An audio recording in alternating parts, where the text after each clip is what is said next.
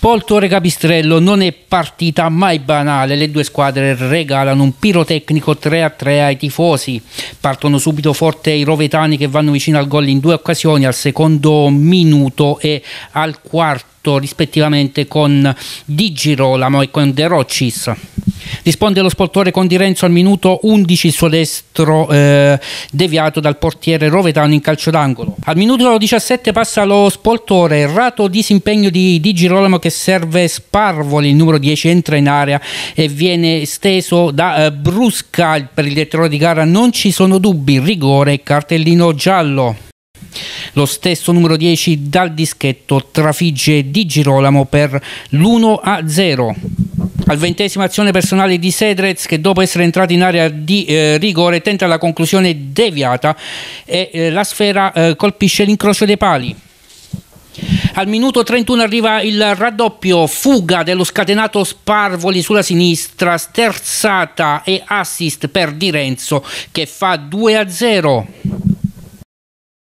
E con le immagini montate da Danilo Di Giandomenico passiamo alla ripresa subito. Terzo minuto ci prova il Capistrello con Di Girolamo. La sua conclusione si stampa sulla traversa. Al diciannovesimo miracolo del numero 1 Azzurgrana su incornata di Di Renzo. Sedres vicino al 3-0 al minuto 24, il suo destro viene deviato da Di Girolamo con l'aiuto del palo, finisce in angolo. Da lì in poi è solo Capistrello al minuto 28 De Rocis da due passi, trafigge l'incolpevole, Palene riapre la gara. Al minuto 34 si completa la rimonta, colpo di testa chirurgico di Fantauzzi su piazzate di Di Renzo e 2 a 2. Al minuto 45 contropiede micidiale Mancini sigla il 2 a 3. In pieno recupero al minuto 53, ultimo assalto dello spoltore, Evansia di testa fa esplodere il Caprarese per il 3-3 finale.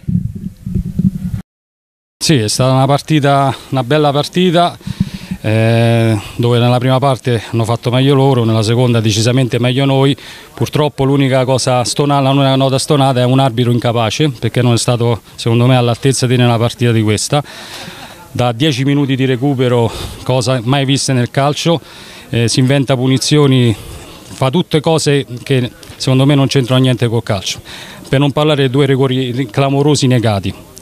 Questo dispiace, sono contento della reazione dei ragazzi perché il secondo tempo abbiamo fatto veramente una grande partita, li abbiamo chiusi e noi abbiamo permesso... Dare due gol non è semplice.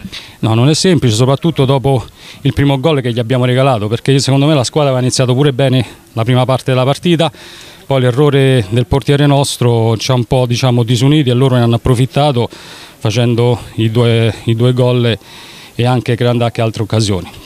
Beh, sicuramente. Eh, alla fine del primo tempo non avremmo sicuramente accettato un pareggio, per come è arrivato assolutamente ce lo teniamo stretto perché è arrivata da una reazione molto forte perché eh, riuscire a pareggiare una partita dopo aver preso tre gol eh, nel secondo tempo significa avere carattere, avere personalità e avere anche la voglia di, di buttare il cuore oltre l'ostacolo.